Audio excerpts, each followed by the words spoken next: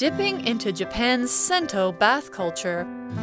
With thousands of public Sento baths still in service around Japan, you can dive into the culture and experience one for yourself.